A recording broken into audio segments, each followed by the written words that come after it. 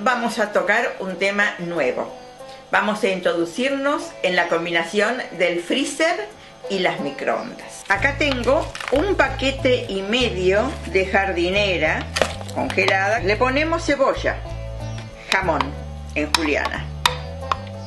Le incorporamos leche. Cuatro huevos, apenas así golpeados.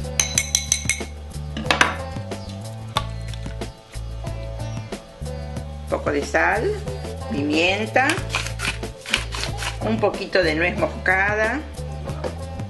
Y lo interesante, o quizás diferente, es que lo vamos a cocinar en un molde térmico apto para microondas previamente cubierto con caramelo. Esto se cocina entre 12 y 15 minutos en la potencia entre mediano y máximo, aproximadamente 8850. ¿Les gustó?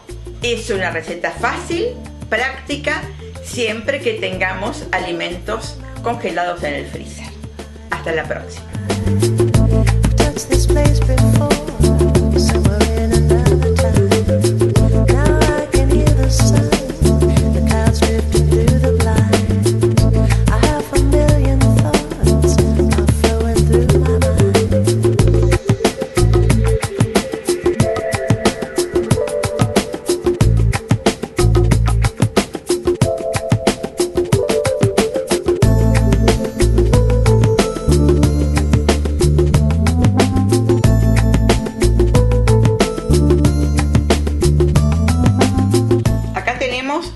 Cubitos hechos con perejil fresco picado, que lo pueden condimentar sí o no con un poquito de ajo. Recuerden que el frío fija los sabores. Podemos tenerlo congelado un año. Todo lo de la tierra, lo de la huerta, se conserva un año en el freezer.